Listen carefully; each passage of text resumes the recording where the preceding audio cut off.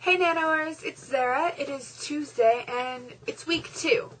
Um, you should only watch this video if you are in need of a pep talk right now.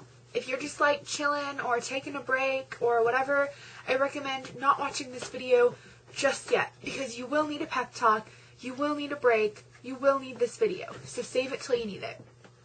Okay, so it's week two. And for those of you who have done Nano before, you know about the week two blues, you know about the week two drama, and for those of you who it's your first year, um, you've probably heard about it. By week two, your brain is gone completely. Um, you don't feel like anything you are writing is worth anything. You know, you can't get any words out, you have no inspiration, you have no motivation, and when you finally do, you're like, oh my god, what is this? This is horrible. What what did I just do? I just wasted all this time. So these are my tips and my little pep talk for week two to get you over this hump because it is there and if it hasn't happened to you yet you are lucky but it is going to happen this is natural it happens okay so week two i recommend not deleting anything obviously everyone always says don't delete don't delete don't delete don't delete Put things in brackets, italicize. It doesn't matter. Even if you decide something you don't like this entire character, you don't like that sentence, you don't like this chapter, this scene, whatever, don't delete it. Because those words can still count, even if they're not going to be in your novel. And this isn't like a cheat sheet way. This is, you know, it says it in No Plot, No Problem. Don't delete because this counts as your 50,000 words. You wrote those words during November for your novel. Therefore, they count. Do not delete them. Okay? Okay. Find somebody is my next tip.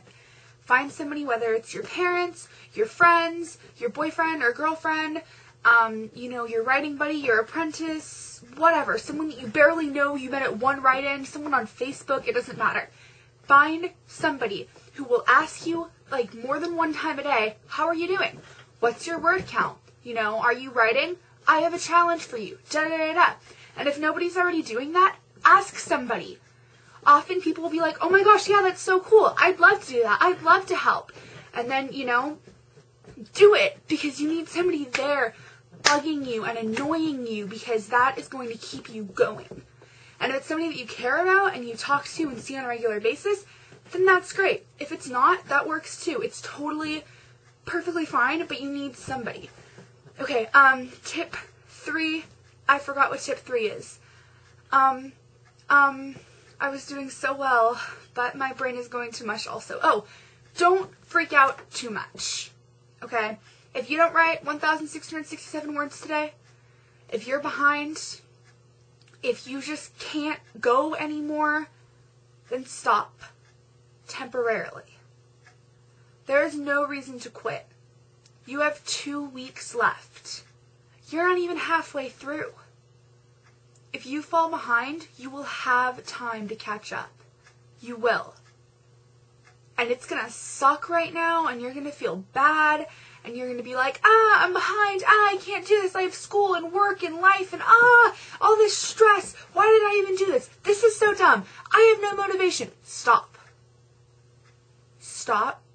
Take a break go on a walk, go out with your friends tonight, watch a movie, do something that's a total waste of time, but it's something that you enjoy doing. Because you can't just sit and write. You know, it's not good for you. And it's, if you get behind, that's okay. It's not ideal.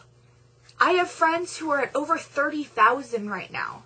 That's freaking great. They don't have to write for like days and they can still be ahead. But you don't need to compare yourself to them. You don't need to be better than them or equal to them. And if you fall behind, it's okay. You have time to catch up. So that is my pep talk thing for week two. And um, yeah, I will see you guys on the 15th. Good luck! Bye.